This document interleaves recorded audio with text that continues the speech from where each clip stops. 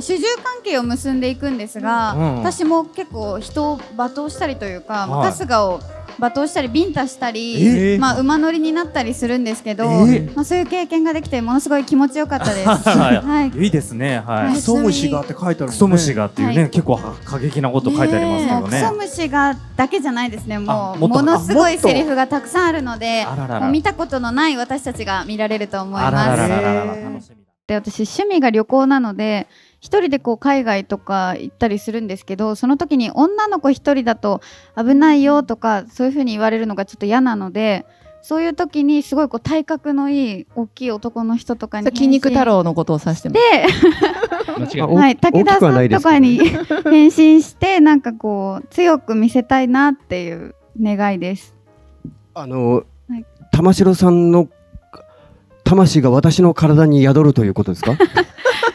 なんかちょっとした結ド果的が もちろんね。私にも負の感情はあるんですけど、まあそれをね放出して困らせるわけにもいかないので私は人に絶対見せられないノートがあります。デスノートやばいやばいやばいやばい。めっちゃ惹かれた。こんなに惹かれると思わなかった。やなんか本当にもう嫌なこととかこいつこうだったなとか。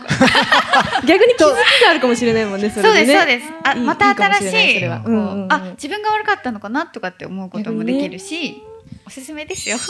ちちなみにあの ちょっと過激な言葉も使ってたりするんですか？ノートの中には。ああ多少？多少？ああいいですね。ごく稀に？ごくバレに、はい回はすごく真っ当な役なんですけどこれまであの地獄から来た女の役とか なんて言うんでしょうあの虐げられる役とかすごく個性的な役柄が多かったのであの生活感のある役柄とかに今年は挑戦してみたいなと思いましてまた雰囲気をガラッと変えて皆さんにどう届くのかなっていうのを、はい、ちょっと楽しみにしています。